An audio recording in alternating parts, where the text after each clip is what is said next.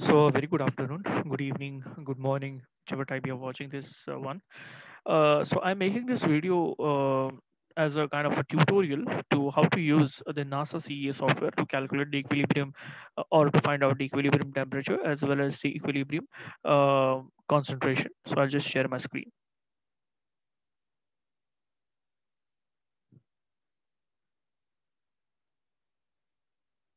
Okay, so uh, okay, just a second. Yeah, so basically, uh, I'll just start it from the beginning. What you have to do. So uh, on Google, you have to first uh, search uh, for this uh, NASA CEA. You just have to type it, NASA CEA. Just click it. So the first option you get CEARUN. Just click on it Okay, now uh, since uh, our aim is to calculate the assigned, uh, since our aim is to calculate the uh, temperature, equilibrium temperature. So using uh, uh, the Ramamurthy sir's method, we first initially assume a certain temperature and a pressure and uh, using iterations we calculate the equilibrium temperature and the pressure so uh, in this we first uh, we go for the third one. Since we initially assume a certain temperature and pressure we go for the third option submit okay. Now uh, let's say uh, you want to know the results uh, for different temperatures.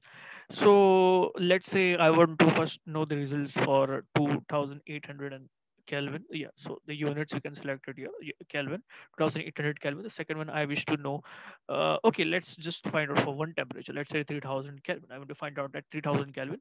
And let's say my system uh, pressure is, I've, I've selected ATM. So let's say my system pressure is 1 ATM.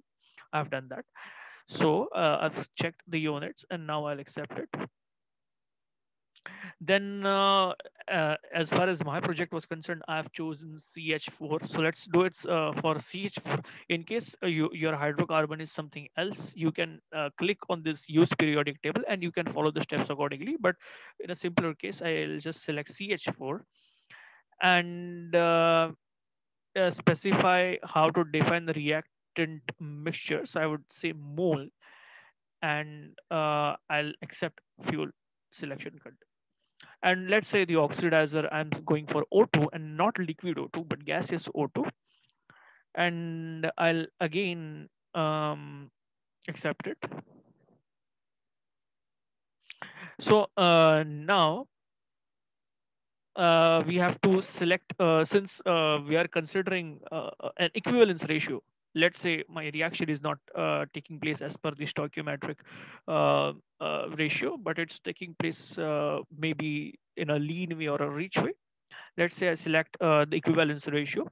And then uh, let's say in my case, my equivalence ratio came out to be 1.33. That was a bit rich. So I've used this value 1.33. That is my equivalent ratio. And I'll accept it. So you can check the parameters we have entered. Uh, my pressure in ATM is 1 ATM. My temperature, which uh, which I want to know at is 3000 kelvins. And my phi, that is equivalent ratio is 1.33. And what do you want to do upon clicking submit? I want to perform a CEA analysis. So submit. And they simply produce uh, a range of results. And you can see they have calculated the mass fractions and also the thermodynamic uh, properties. And uh, yeah, they have uh, basically calculated every other thing which you wanted, the details they have calculated. So you can uh, validate it uh, with your code. Okay, uh, thank you.